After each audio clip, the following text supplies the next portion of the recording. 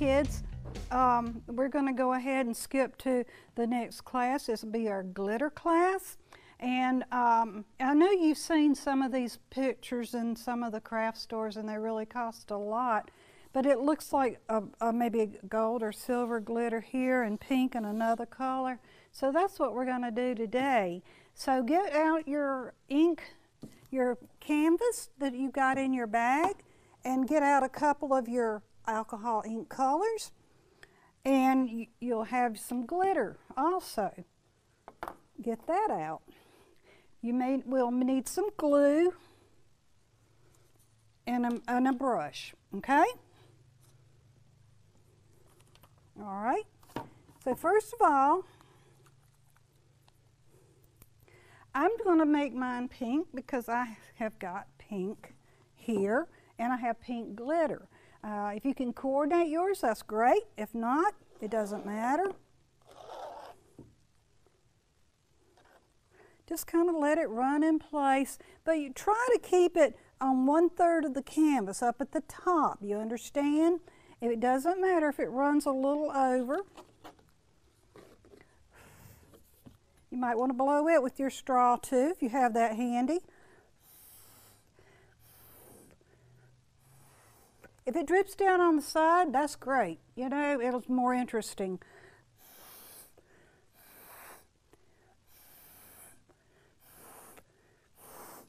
That's what I like about these canvases around the edge. You don't have to buy a frame, and the more you do to the edges, the prettier it is. Okay, we're going to pretty much try to get a solid line of whatever color you're doing. Just kind of hold it and wiggle it around as it, just work with it, in other words. Try not to let any run off because you want to use every little bit you can and it will get messy. So make sure you have your trusty paper out.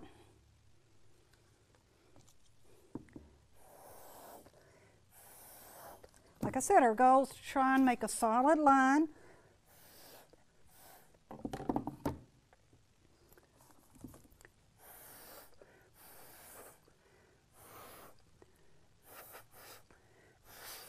All right, here we go.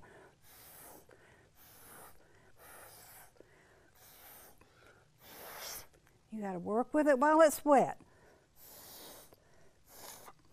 Okay? Won't take much more. And it can have some white showing through. That's perfectly fine. But uh, we're getting some good coverage.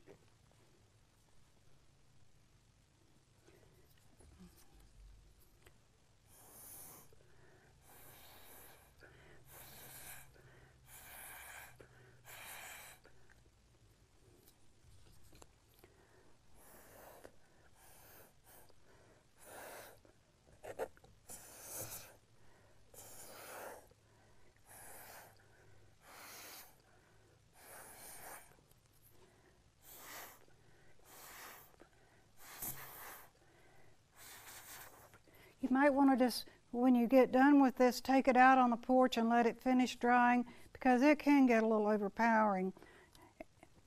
To make it go a little further, we can splash on some more just plain alcohol.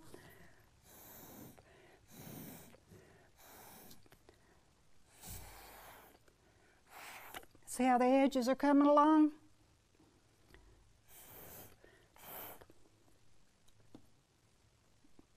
I hope y'all are having fun with this. I love it. Okay, that's pretty good coverage, I think, for that third of their canvas. Now, I want three colors on the canvas, but I'm going to leave one of them white because I don't know if there's any such thing as white alcohol ink. So we have a white canvas. That'll work just fine. I'm going to put orange for my next because I'm going to use gold with it. And it can run in with the red, it can run in with the white because it's going to run where it wants to. You just have to kind of tell it a little bit.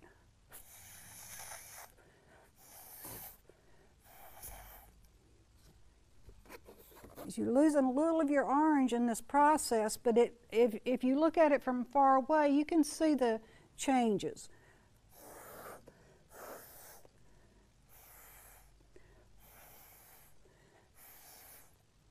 Okay.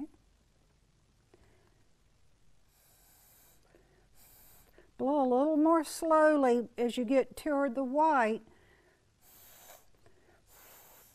because you want to keep the white white.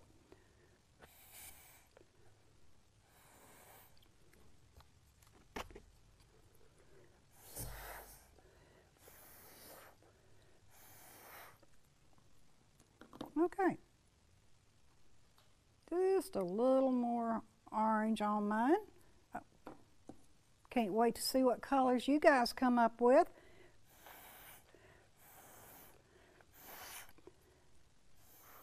And like I said, with this alcohol ink, it's going to blend into 10 or 15 different shades. Sorry about that, guys.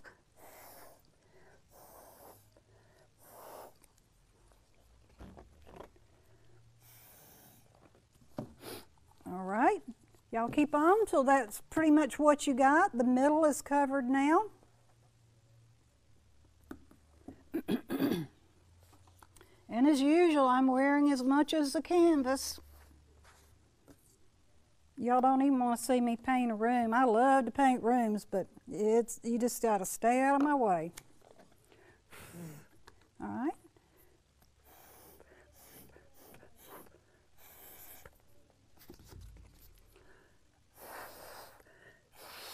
Okay, we got pretty good coverage. We may not even need the glue if you go ahead and put some of the glitter on now. I think it's going to stick just to the moisture. So let's see what we got here. I'm using pink. This is very fine. They make glitter all the way from very chunky to kind of like your normal glitter. They make it all the way down to like baby powder consistency. And that's fun to work with. But like any glitter, it is a little messy. So what I'm going to do, since this is my pink part, I'm just going to pour the pink glitter in this section, just one big stripe. So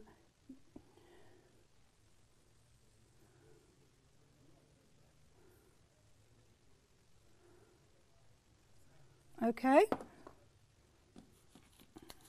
If you want to save your glitter, for another project, what I do, just take any ordinary piece of paper,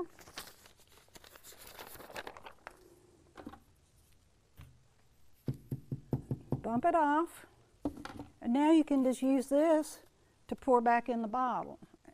But that's not a lot that worth saving, but sometimes when you get carried away, it's worth saving. Okay? I'm going to put my caps back on. We're really using up some paint, guys, but that's what we're here for.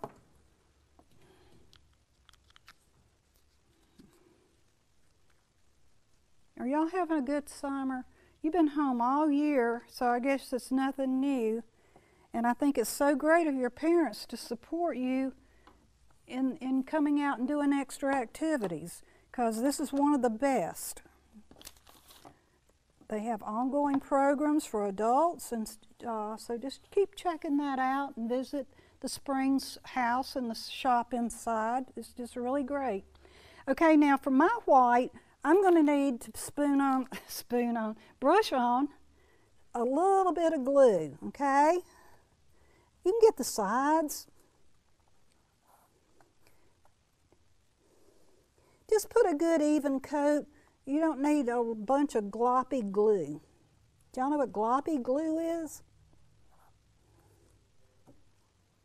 Okay.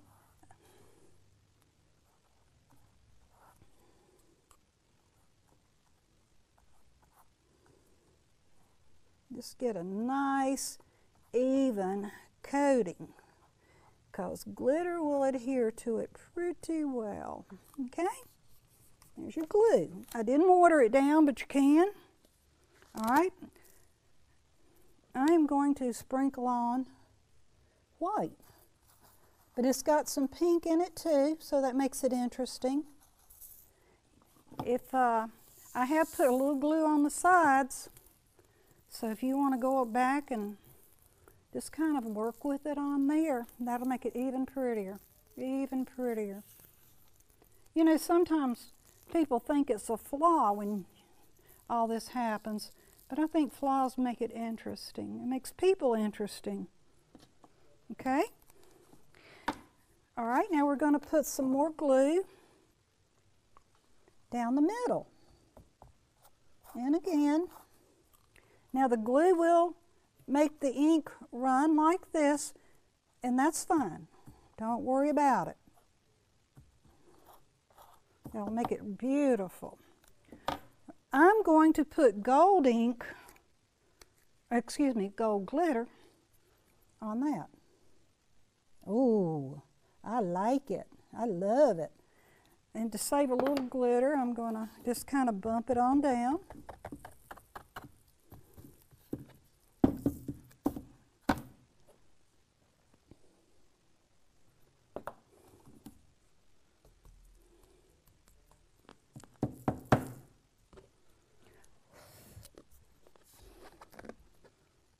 Okay.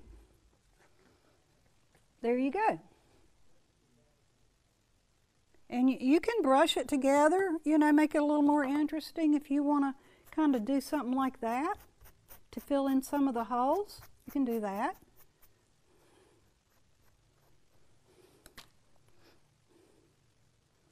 All right. You'll be surprised how much that shines once you get up on the wall, and I hope you'll smile every time you see it. This is from uh, day one, our segment one, where we made these beautiful uh, pieces of canvas here on watercolor paper. What we're going to do today, you'll need this.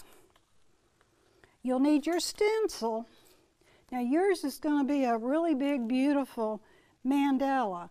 And a mandala is a, a really gorgeous thing. And they kind of started over in Tibet. And basically, they're like a clock. You start in the middle. There's a one at 12 o'clock. You put a, a, a decoration at 3 o'clock, 6 o'clock, 9 o'clock. Then you can start putting in stones, like if you're working with gemstones or something glittery. We've done this at camp, at, uh, and you may have been in my class earlier a few years ago. Some people did it with ants and grasshoppers, but they were all symmetrically spaced. And you can go in here now and fill in this. And that's how a mandala is formed. That's not real symmetrical, it's just sketched on there to give you an idea. Uh, they even make color books with these in it, and they're really beautiful because they come out looking like stained glass, which is just the prettiest thing in the world to me. So you're going to need your stencil, you're going to need your white paint, you're going to need something to pour your white paint in, and you're going to need your dabbers. These are dabbers. You can even use this kind. Uh, the big one's good for this project because you have a big project. So let me get something real quick to pour mine in. Okay, here we go. Shake it up real good. Always shake your art.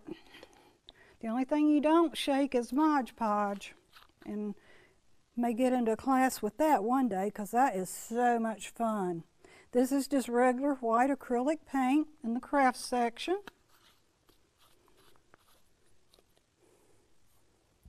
And what you're going to do is you're going to dab it. You're not going to just soak it down, okay? You're going to get white paint on it. Now, if you want to scotch tape your stencil, if you run go get some scotch tape, I'm going to make this lily of the valley, okay, because I don't have the mandala stencil. So here again, you could use any stencil you want. You could put a dinosaur on here. You could put a Superman emblem. You can put an apple for your teacher. Because I love stencils. I just love them. Okay? Now, with your dabber, kind of get off some of that paint. You want good coverage, but you cannot have blobs because it you're just trying to put enough paint to put cover up these little red areas.